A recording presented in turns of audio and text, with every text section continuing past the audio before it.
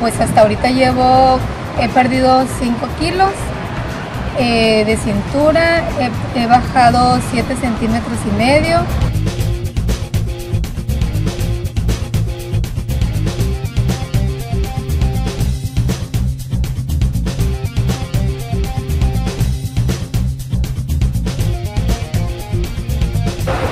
No era competencia con nadie, la competencia era conmigo misma, pero siempre el llevar a alguien enfrente, siempre es como que te jala a que sigas, a que le metas más fuerza, a que le metas más energía. Antes no tenía mis horarios para comer. Comía a la hora que me diera la gana o que me diera hambre o simplemente si no me daba hambre no comía.